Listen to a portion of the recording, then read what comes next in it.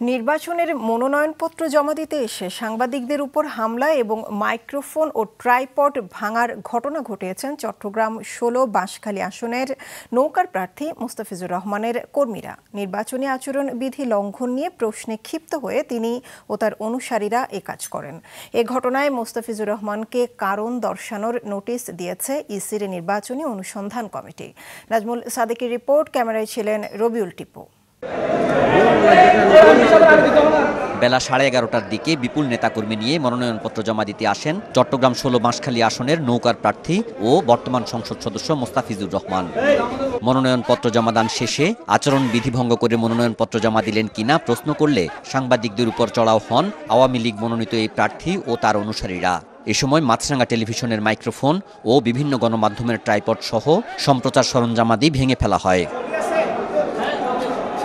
এ সময় ইন্ডিপেন্ডেন্ট টেলিভিশনের staff reporter Rakibuddin মারধরের শিকার হন। পরে সাংবাদিকরা প্রতিবাদ করলে সংসদ সদস্য দ্রুত চলে যান।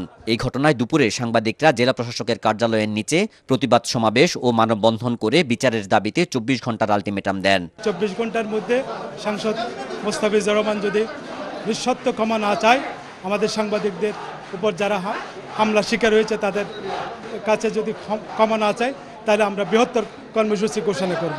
অনাকাঙ্ক্ষিত এবং আমি মনে হয় একটা জঘন্য ঘটনা। আমরা চট্টগ্রাম সাংবাদিক ইউনিয়ন বিষয়টাকে শুনে আমরা তাৎক্ষণিকভাবে এখানে চলে এসেছি। আপনারা দেখেছেন, এর মধ্যে আমরা একটা প্রতিরোধ সমাবেশ করেছি এবং বিষয়টিকে আমরা অত্যন্ত সিরিয়াসলি নিয়েছি।